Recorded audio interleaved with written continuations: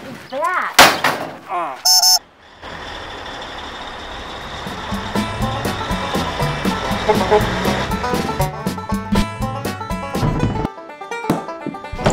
Uh.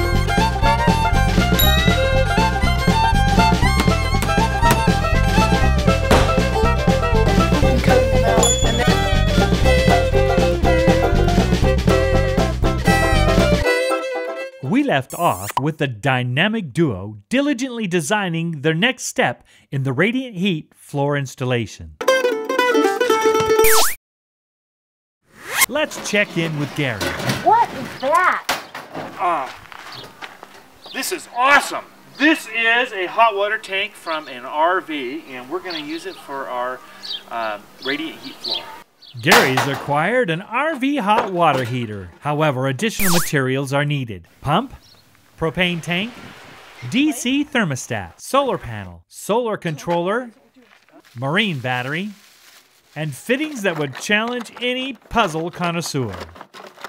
We'll look at Gary's plan in a minute, but first, the guys build a small enclosure to contain the heating system.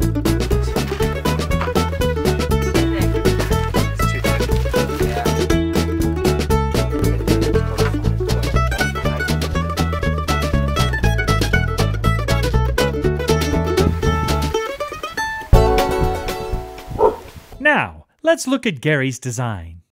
This is a closed water system. The hot water tank will be placed on the top shelf to gravity feed the pump below. Propane connections will then be attached. The pump will be connected to the cold inlet of the hot water tank. The inlet of the pump will be connected to the cold side of the radiant floor tubing. The outflow from the hot water tank will plumb to the hot side of the radiant floor tubing. If the plumbing was reversed, hot water could damage the pump. For initially filling the closed system, a water valve will be installed near the bottom closest to the pump on the inlet side. To bleed air from the system, a valve will be placed near the top of the hot water tank. Now for the electrical system. A 12 volt solar controller will be used to route the various electrical components.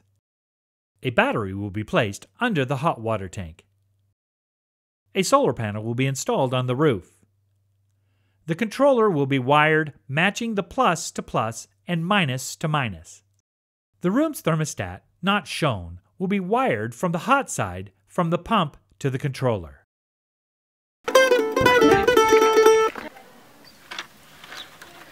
Here we have the hot water tank that stores our hot water.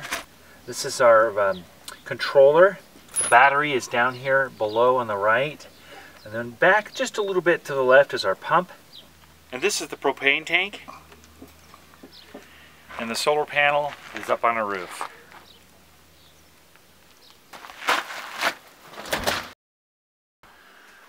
Here's the DC thermostat. It has the uh, the actual temperature, room temperature here, and then the adjuster pops in. No! Dad, I don't know if you've noticed, but it's 90 degrees outside. Yeah, but I bought five gallons of propane. We need to use it up.